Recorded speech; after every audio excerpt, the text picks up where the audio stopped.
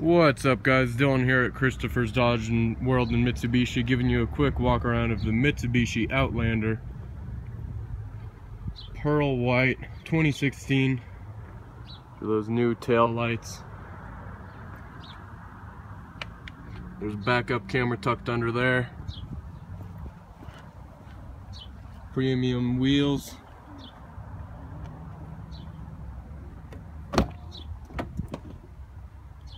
Full leather interior, wood veneer trim,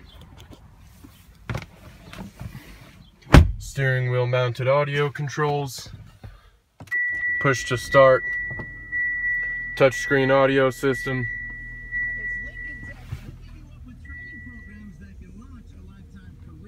plenty of room back there.